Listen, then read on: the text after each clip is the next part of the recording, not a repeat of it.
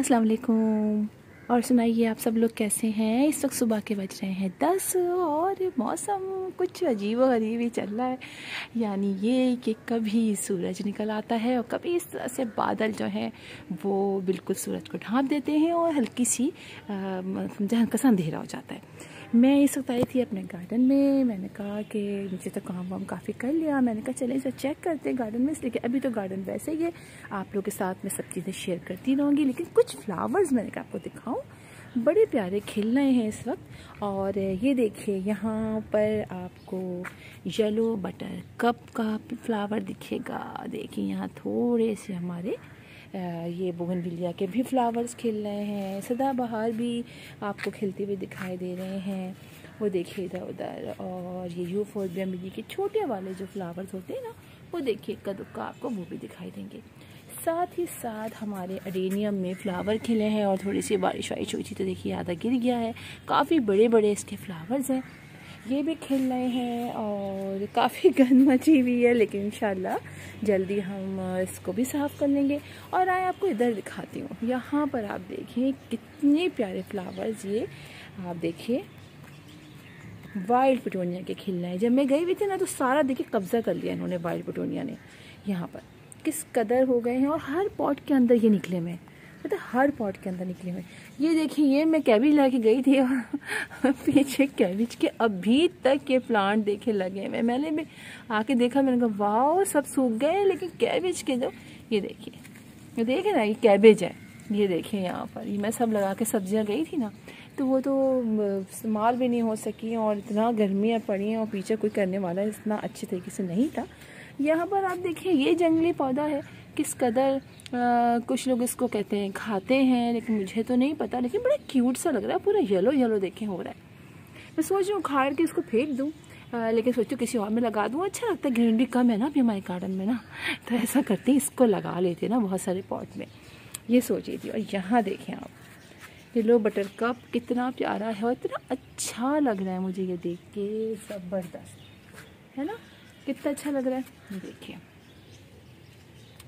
तो इस तरीके से हमारे ये भी बहुत खिल रहे हैं और ये देखें ये भी जंगली आ, कहते हैं इसको मॉस रोज छोटे छोटे छोटे से होते हैं और ये तो रियली बहुत जंगली होते हैं। यानी ये कि इसके सीड्स इतनी जल्दी से स्प्रेड होते हैं वो हर गमले के अंदर ये निकले दिखाई देंगे। होते हैं बड़े क्यूट से लेकिन। इसी तरह आपको दिखाती हूँ यहाँ पर आए तो आप देखें ये हमारा मॉस रोज है। मॉस रोजी हाँ मॉस रोजी है। लेकिन ये देखिए ये तो लगाया ही नहीं था मैंने। मैंने ये वाली जो वैरायटी ये लगाई नहीं थी आई डोंट नो ये कहाँ से इसके सीड्स आए और इतने छः फ्लावर्स निकल आए। मैंने कहा वाह भाई ज़बरदस्त। और ये देखें ये तो आप पहचानेंगे होंगे मदर ऑफ़ थाउज़ेंड अल्लाह इसने तो मेरे घर में भी।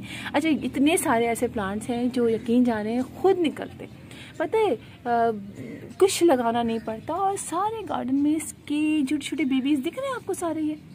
ये सारे से छोटे छोटे बेबीज़ हैं, इसके लीव्स के ऊपर ये सारे स्प्रेड होते हैं। ये देखिए, सारे जो है ना, ये सब स्प्रेड हो जाएँगे, जहाँ जहाँ उड़ के जाएँगे, वहाँ निकल आएँगे।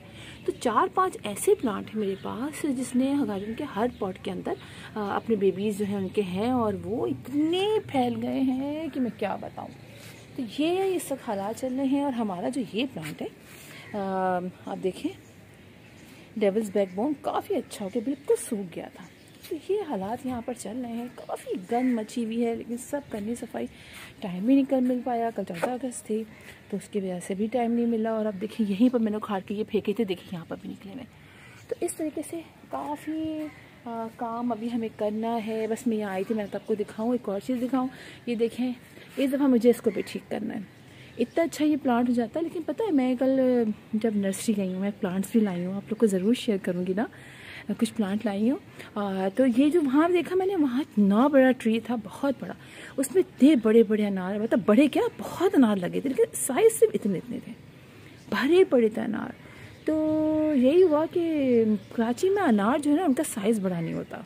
मैंने बड़े साइज़ के अनार तो देखे नहीं कराची में। जो भी प्लांट देखा, उसमें इतने इतने अनार होते हैं। हमारे अपने घर में भी लगे हुए थे वाइट जो होते हैं ना वाइट रंग के जो अंदर दाने निकलते हैं तो वो अनार लगे हुए थे। देखिए, काफ़ी अच्छा हो गया। इसको भी अभी मैं खूब फर्टिलाइज़ करूँगी। देखिए, इसमें कैसे अनार निकलते हैं? मैंने बहुत पिंचिंग की है। इस पिंचिंग को देखिए कितनी ब्रांचेज नई नई निकली है। और यहाँ देखें इस दरख्त को जो लीमू का दरख्त है इसमें एक दफ़ा ही लीमू आए। लीमू आए ही नहीं और अब देखिए इसकी हालत क्या हो गई है।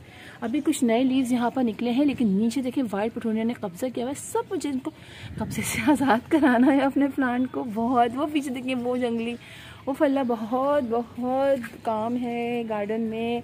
अब मैं सोच रही हूँ, भाई लगी जाऊँ, चौबीस घंटा करके मैं इसको ख़त्म करूँ।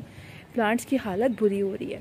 तो ये सारी कंडीशन देखिए काफ़ी बुरी हालत है। तो इन आहिस्ता आहिस्ता हम ठीक करेंगे अपने गार्डन को, ठीक है? और सब मैं आपके साथ शेयर करूँगी और फिर आप देखिएगा कितना प्यारा हमारा गार्डन हो जाता है। इन इनशाला तो फिर आप लोगों से बात होगी इन अल्लाह हाफिज़।